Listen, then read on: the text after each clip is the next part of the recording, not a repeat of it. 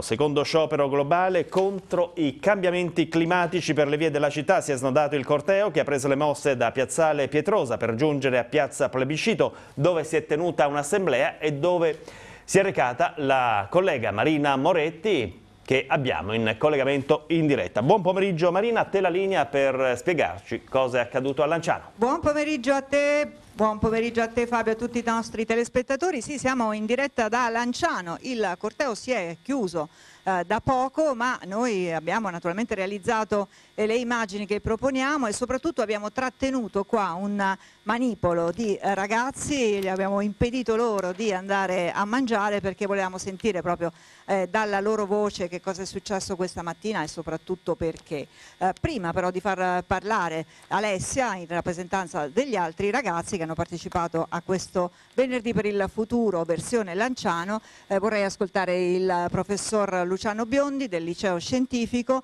eh, che eh, ha coordinato anche un po' le attività di questi ragazzi poi per la verità hanno fatto un po' tutto da soli mi pare di capire però comunque è importante che ci sia un professore perché è importante anche che il pubblico eh, capisca che non è una scusa per non andare a scuola sì, sì, in realtà i ragazzi hanno fatto praticamente tutto da soli e, e quindi il merito di questa straordinaria manifestazione è tutto loro, centinaia e centinaia di ragazzi che sono scesi qui in piazza a Lanciano. Io sento profondamente dentro di me il, la responsabilità di essere non solo un semplice cittadino e un genitore ma anche un insegnante. La scuola deve poter appoggiare eh, e accompagnare i ragazzi in questa loro protesta, che è una protesta sacrosanta, è una protesta per il loro futuro, per il futuro dei loro figli e perché tutto sommato siamo stati noi, la nostra generazione, negli ultimi 50 anni, che ha ridotto il pianeta in questo stato ed è quindi è necessario che ci mettiamo in gioco tutti quanti per rimediare in parte, per quanto sarà possibile, ai danni che abbiamo provocato. Alessia, tutto questo è nato da una ragazza di 16 anni, una uh, giovane ragazza svedese, Greta Thunberg, che ne aveva anche meno per la verità di anni quando ha iniziato e lei è riuscita davanti ai grandi a fare dei discorsi molto toccanti. Una delle sue mh, frasi, mi ricordo, è quando io avrò 75 anni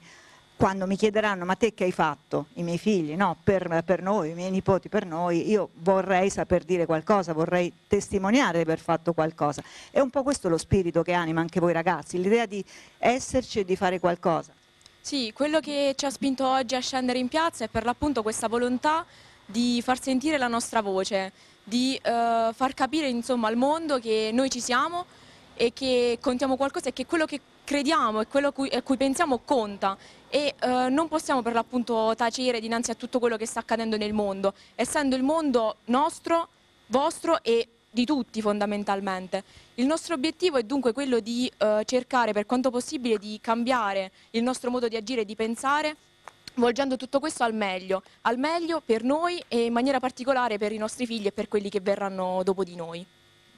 E allora Fabio, io vorrei comunque dare appuntamento ai nostri telespettatori allo speciale che come sempre andrà in onda questa sera e che sarà più esteso rispetto a questo collegamento per cercare anche di saperne di più dai ragazzi. Intanto se non hai domande da studio posso chiudere qui. Sì, grazie Marina, ringrazio te e i tuoi ospiti, ringrazio per questa finestra che abbiamo aperto sul Lanciano per affrontare temi legati ai mutamenti climatici e all'ambiente.